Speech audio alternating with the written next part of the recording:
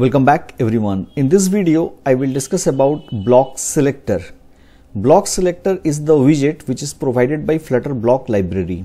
It is the optimized version of bloc builder.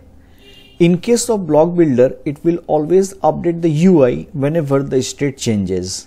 But with bloc selector, we can trigger the UI rebuild whenever the specific property of the state changes and if that property does not change then the UI will not be rebuilt.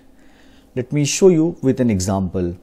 Here this is the same counter app project which we have discussed earlier in my video series and if I run this then we will get output like this if I click on plus then the counter value will increment if I click on minus then the counter value will decrement. Now here inside this column after this bloc builder, I will use bloc selector.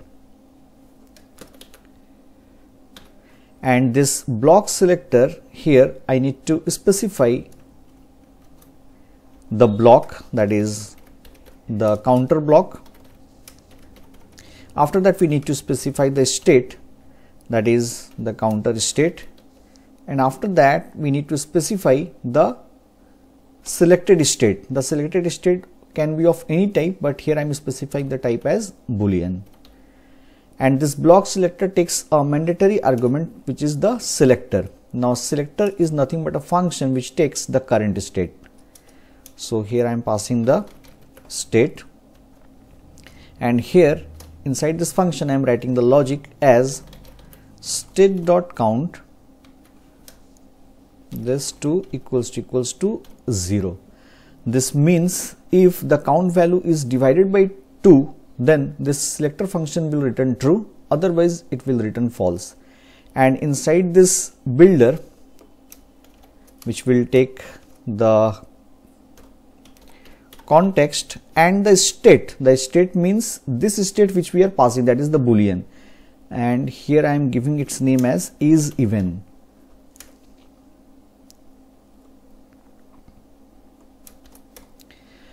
So if the count value is divided by 2, this means the count is even, otherwise it is odd. Now here I am returning return is even. If it is true, then I will return a text widget and here I am giving the text as even. Otherwise, I will return a empty container.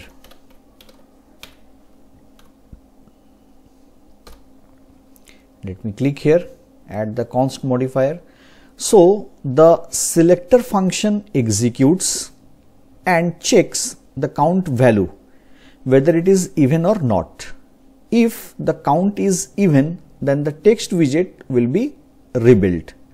So a part of the UI inside the bloc selector is rebuilt based in the condition which we have specified in the selector function other parts of the widget tree outside the bloc selector that does not depend on the even or odd status of counter will remain unaffected. Thus, the bloc selector improves the performance of the application and that is the functionality of bloc selector. And if I click here, then you can see, let me save this first and if I click here then it is 0 this means even.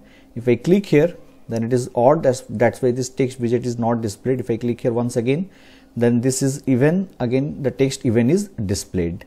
This is how the bloc selector works in flutter bloc. That's it for today's video. Thank you so much for watching